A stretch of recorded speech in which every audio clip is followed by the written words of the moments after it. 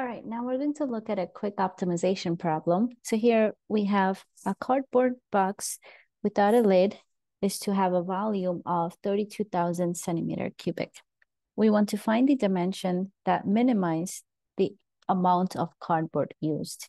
So, so imagine you have a box like this. So we want to create this box. Now, of course, the top is going to be open. So let's draw it. So here's our box.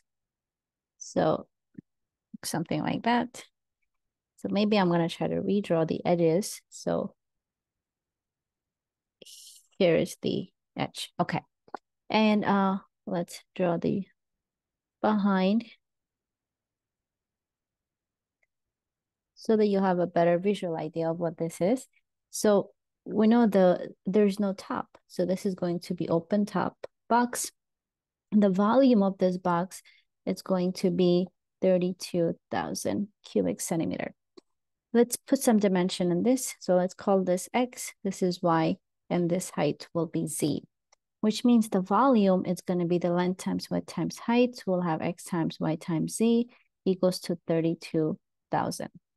Now let's go ahead and solve this for Z. So Z is going to be 32,000 divided by XY. Now hold off to this. We're going to hold on until we get our surface area. So this is going to be your helping equation. Or you can call it constraint equation of the uh, function that we're going to optimize. In this case, we're going to minimize the area, surface area function. So we want to find the dimension that will minimize the amount of cardboard used.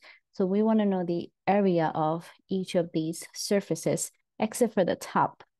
So our surface area function, let's call it surface area, it's going to be S, um, S, and this is going to be equal to, let's um, find what are the dimension we need. So we need the bottom.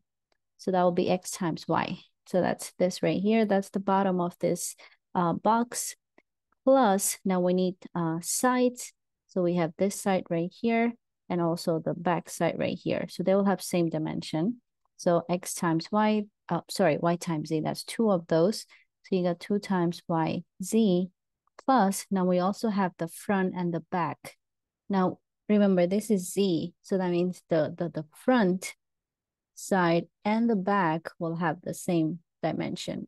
So that's going to be two of those x times z. So 2xz. Now, this is our function. Now you want to make this a function of two variables, rather three. So we're going to have to go ahead and replace the z from this right here. So you have a function of two variables. So by replacing that into this equation, our surface area S of xy, it's going to be expressed as xy plus 2y times z. z is 32,000 over x times y plus 2x times, again, z is replaced with the equation above, 32,000 over x times y.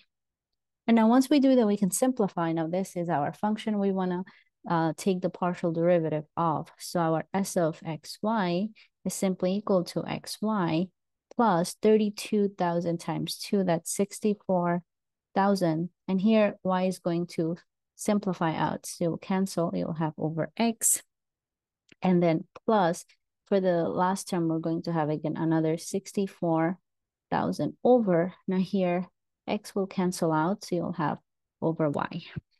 Now let's take its partial derivative, and then those are going to be our critical points when we set them equal to zero. So we're going to compute s sub x and s sub y, partial derivative respect to x and y, set them to zero to get the critical numbers. So let's see what this is going to be. So the partial of s respect to x. So that's going to give us, so we're going to take the partial derivative of each term respect to x.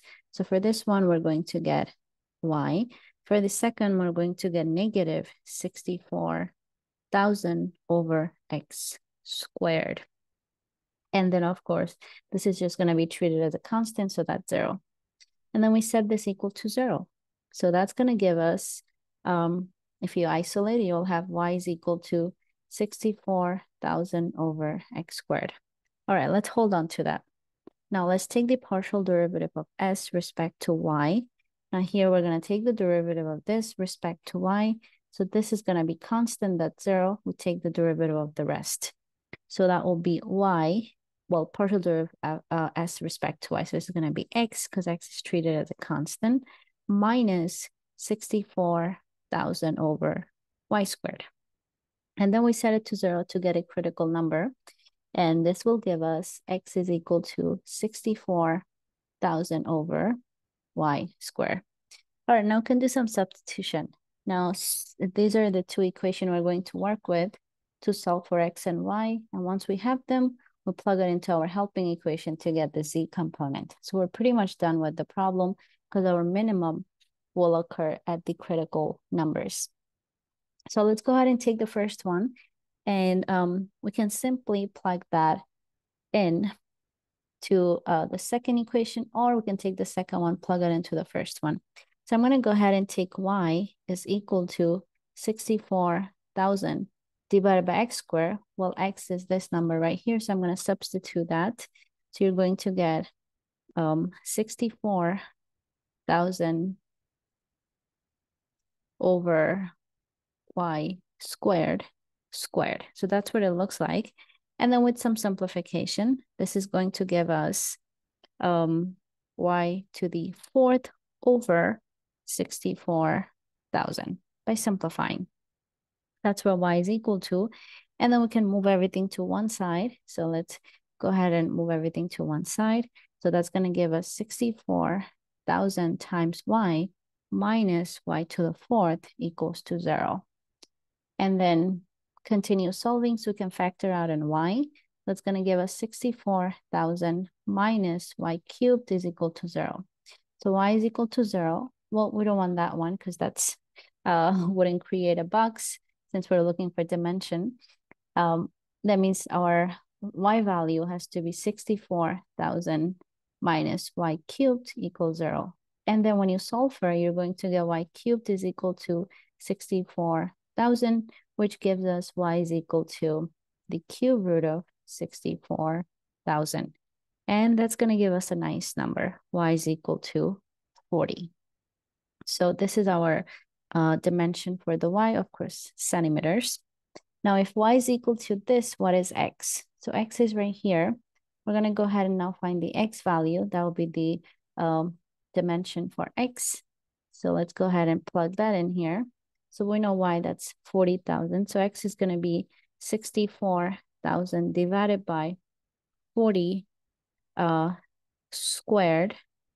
So if you simplify that, you're going to get 40 for x as well, centimeter.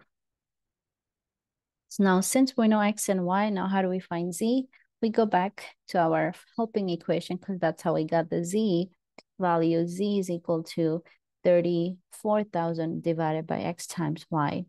So our dimension for z, what has to be uh, 32,000 divided by x, that's 40, and y, that's also 40. And this will simplify to uh, 32,000 divided by 1600.